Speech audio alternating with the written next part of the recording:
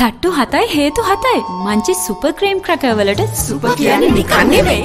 ජාතික ගමනාගමන කොමිෂන් සභාවේ අධ්‍යක්ෂ නිලන් මිරැන්ඩෝ මහතා සඳහන් කළේ සාපේක්ෂ ප්‍රතිශතයකින් බස් ගාස්තු අඩු කරන බවයි. බස් ගාස්තු අඩු කරන මිල ගණන් අද ප්‍රකාශයට පත් කිරීමට නියමිතයි. ඉන්ධන මිල ගණන් පහත දැමීම හේතුවෙන් බස් ගාස්තුද පහත දමන බව අධ්‍යක්ෂවරයා සඳහන් කළා.